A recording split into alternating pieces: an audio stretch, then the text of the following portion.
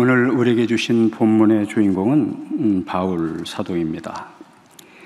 어, 기질론, 유형론, 또 종교 심리와 성격 심리를 하는 학자들은 거의 하나같이 사도 바울은 아마도 담즙질일 것이다. 또 완벽형일 것이다. 또 개혁가형일 것이다. 라는데 동의를 합니다. 완벽형, 개혁가는 일종의 원칙주의자입니다. 규칙, 순리가 대단히 중요하고 모든 것들이 계획대로 질서대로 어, 정연하게 되는 것을 추구하는 사람입니다. 이제 1차 전도 여행 때 마가 요한이 자기의 역할과 책임을 올바로 감당하지 못하자 2차 전도 여행에는 함께 가기를 거절했고 그 일로 인해서 절친했던 동역자인 바나바와도 갈등을 빚게 됩니다.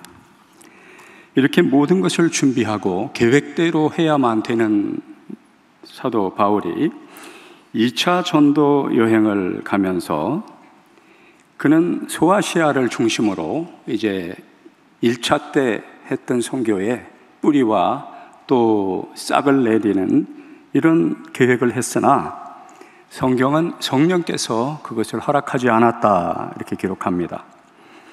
그래서 그는 이제 두 번째 계획이 비두니아 즉 동쪽을 향해서 전도 여행을 가는 것을 원했는데 환상 중에 마게도냐 사람이 나타나서 건너와서 우리를 도우라, 우리를 도와달라는 간청을 보게 되고 그것을 하나님께서 보여주신 환상으로 받아들이게 됩니다. 자기 뜻을 접고 하나님의 계시와 인도하심에 철저히 순종하고 있는 모습을 볼 수 있습니다. 동쪽이 아닌 서쪽, 비두니아가 아닌 마게도냐를 향해서 하나님의 계시와 하나님께서 원하시는 대로 그의 모든 여정을 바꾸게 됩니다. 그 마게도냐로 들어가는 첫 성읍이 바로 오늘 본문에 나타나는 빌립보입니다. 근데 이 빌립보에서 하나님의 계시와 인도에 의한 전도 여행답게 첫 번째, 두 번째 만남이 아주 성공적입니다.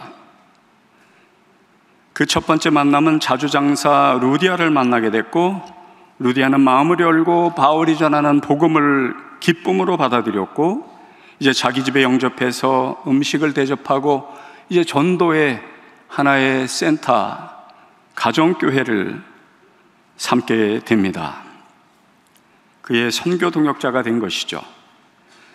두 번째 만남은 빌립보의 귀신 들린 여종과의 만남입니다. 비록 귀신은 들렸어도 영계가 열렸는지 사도 바울과 신라가 누구인지를 알아봅니다. 그래서 이렇게 외칩니다. 이 사람들은 지극히 높은 하나님의 종이고 이들은 너희들에게 구원의 도를 전하는 자다. 이렇게 외치는데 사도 바울이 보니까 그 하나님의 형상대로 지음받은 한 여인이 귀신의 종로로 타면서 그의 인생과 결말이 파멸을 향해 갈 수밖에 없는 것을 보고는 안타깝게 여기면서 축사, 축귀 사역을 합니다. 예수 그리스도의 이름으로 명하노니 그에게서 나오라. 예수의 이름으로 명했을 때 이 여정이 귀신에서 해방됩니다. 온전케 됩니다. 이쯤 되면 이제 점점 기대할 만하고 첫 번째 모든 것들을 풍족하게 갖고 있는 사람이 자기 집을 개방해서 선교센터로 두 번째 이제 영적 세계, 초월의 세계, 이제 드디어 축사도 일어났으면 그 다음에 더 대단한 클라이막스가 나타나면 하나님의 영광, 그리스도의 승리가 선포될 것 같습니다. 그런데 문제는 지금부터입니다. 우리 다 같이 사도행전 16장 19절부터 24절까지를 교독하기를 원합니다. 사도행전 16장 19절을 제가 읽고 20절을 여러분들이 읽어주시고 이제 24절까지 한 절씩 교독하겠습니다. 제가 사도행전 16장 19절 말씀 읽겠습니다. 여종의 주인들은 자기 수익의 소망이 끊어진 것을 보고 바울과 신라를 붙잡아 장토로 관리들에게 끌어갔다가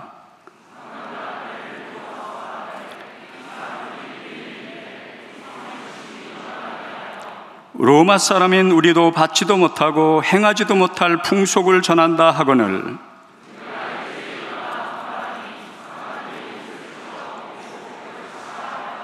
23절 같이 있습니다. 많이 친 후에 옥에 가두고 간수에게 명하여 든든히 지키라 명하니 놀랍습니다. 어떻게 이런 일이 내가 원해서 온 것도 아니고 환상 중에 하나님이 계시로 보여주셔서 동쪽으로 갈라 했던 모든 계획을 접고 서쪽으로 왔습니다.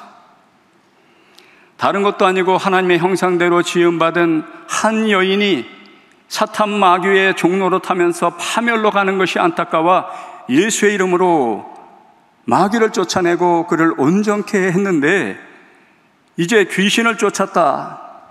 사람을 온전케 살렸다라는 죄목으로 옷이 찢기고 엄청난 매를 맞고 깊은 감옥, 거기서 말하는 깊은 감옥은 지하 감옥을 뜻하고 감옥에도 3층 감옥이 있는데 지상과 반지하와 완전 빛 하나 들어오지 않는 흉악범들을 가두는 지하 감옥에 그것도 착고에.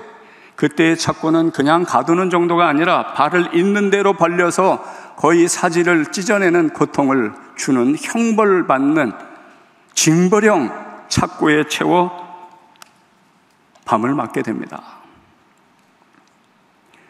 이렇게 되면 하나님은 어디 계신가? 그것이 정말 하나님이 내게 보여주셨던 환상이요 계시였는가?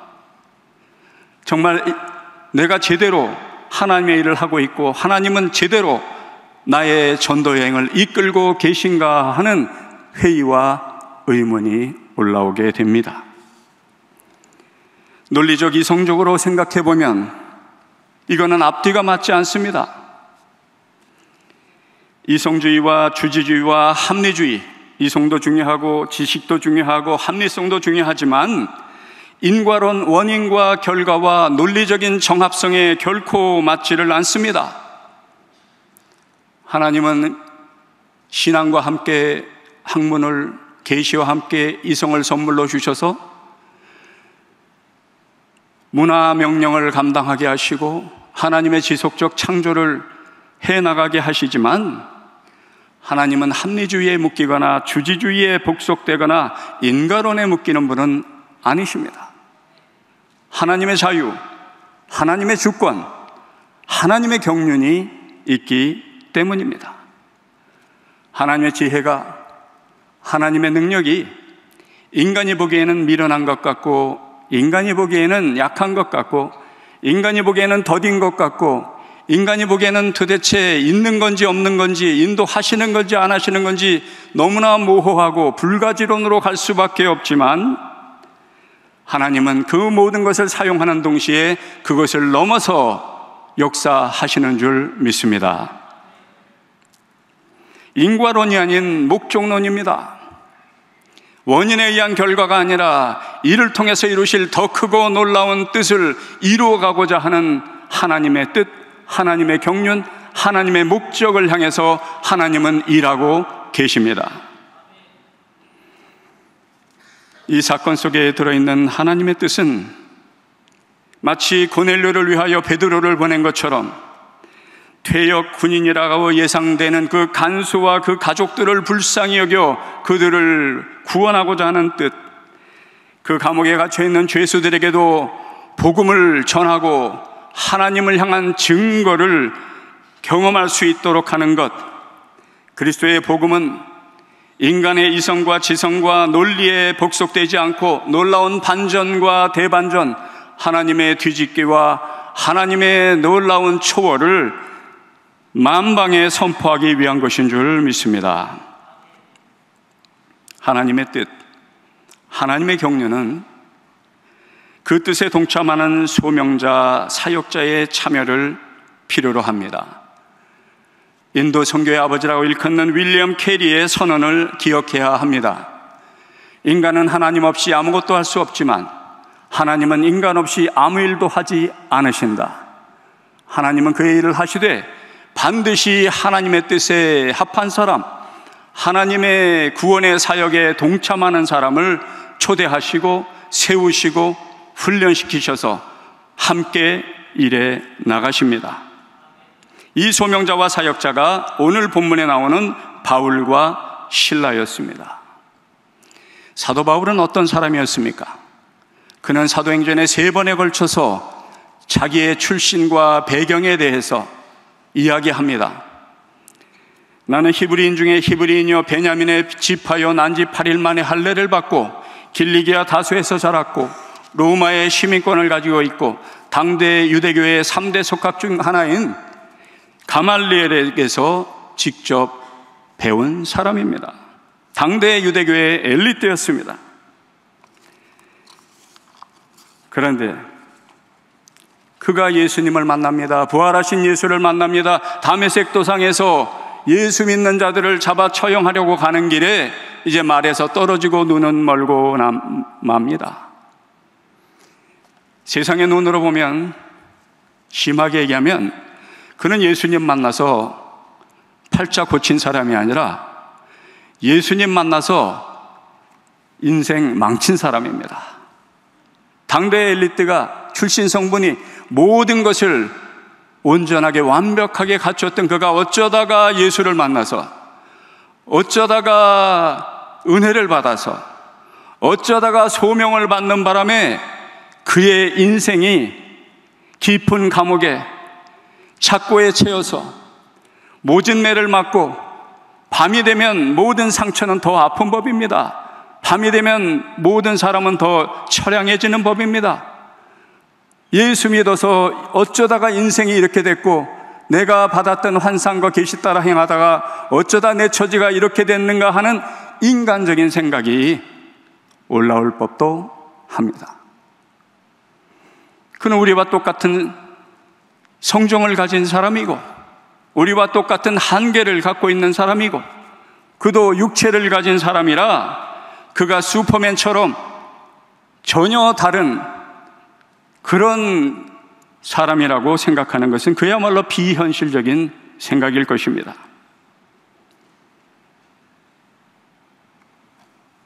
그런 그가 그 한밤중에 무엇을 했다고 기록하고 있습니까? 한밤중에 바울과 신라가 기도하고 하나님을 찬송함에 죄수들이 듣더라. 그가 가장 비참하고 가장 낮은 가장 고통스러운 징벌형 착고에 깨인 채로 온몸에 상처 투성인 채로 옷은 벗기운 채로 그가 했던 것은 한밤중에 하나님께 기도하는 것이었습니다. 한밤중에 하나님의 이름을 높여 드리는 것이었습니다. 그는 훗날 수리할 때 40에 하나 가만매를 세 번 맞고 태장으로 맞고 돌로 맞고 그 수많은 동족의 위험과 이방인의 위협과 파선의 위험과 이 모든 고생과 모든 수고가 다 하나님 때문에 예수님 때문에 그의 복음을 증거하는 것 때문에 그에게 주어졌던 결과였다고 수레하고 있습니다. 누구나 찬송 중에 애창곡이 있습니다. 저는 애창곡이 오늘 우리가 함께 불렀던 438장입니다. 힘든 일이 있을 때마다 어려울 때마다 또 새벽 기도에 가서 기도를 마칠 때마다 이 찬양을 부릅니다. 내 영혼이 은총 입어 중한죄짐 벗고 보니 슬픔 많은 이 세상도 천국으로 화하도다. 할렐루야 찬양하세 내 모든 죄 사함 받고 주 예수와 동행하니 그 어디나 하늘나라. 이 작사자는 자기의 신앙 고백을 담아서 이 찬송을 작사했고 또 부르는 많은 사람들이 이 찬송을 부르며 하나님의 주권과 하나님의 자유와 하나님의 초월 앞에 온전히 순명할 것을 결단하곤 합니다. 우리 다 같이 438장 1절만 우리의 기도를 담아 하나님께 올려드리겠습니다. 438장 1절 함께 부르겠습니다.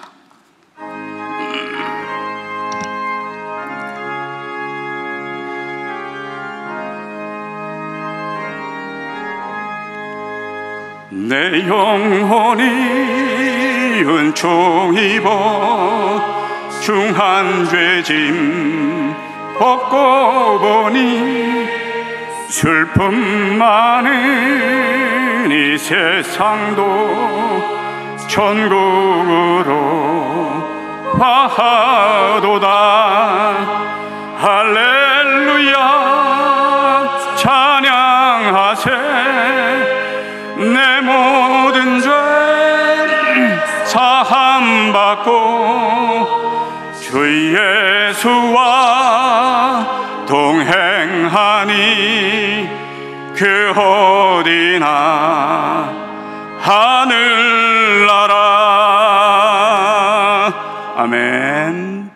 아마 바울과 신라의 찬양이 이런 찬양이었을 것입니다 모든 죄수들이 듣더라. 그 듣다는 hear, 그냥 무관심한 듣더라가 아니라 listen, 경청했다는 뜻이에요. 그 찬양의 마음의 움직임이, 그 찬양의 마음의 회개가, 그 마, 마음의 감동이 있었다는 것입니다. 이 찬양은 환경을 뛰어넘는 것입니다. 주님 한 분만 바라보는 것입니다. One thing, 달린 책이 얘기했던 One thing, one person, one purpose. 이 찬양은 감사를, 믿음을, 순명을 택하겠다는 기도의 찬양입니다. 사도 바울이 드렸던 찬양이 바로 이런 찬양이었기에 하나님이 받으셨고 이런 기도와 이런 찬양에 응답하셨습니다. 우리 다 같이 사도행전 16장 26절에서 32절 말씀 함께 읽겠습니다. 사도행전 16장 26절 제가 읽고요. 27절 여러분이 읽고 32절까지 한 절씩 교독합니다. 26절 읽겠습니다. 이에 갑자기 큰 지진이 나서 옥토가 움직이고 문이 곧다 열리며 모든 사람의 메인 것이 다 벗어진지라.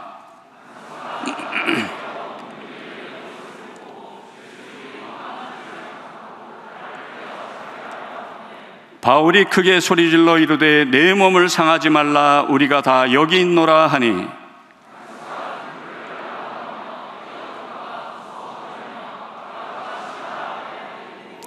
그들을 데리고 나가 이르되 선생들이여 내가 어떻게 하여야 구원을 받으리까 하거늘?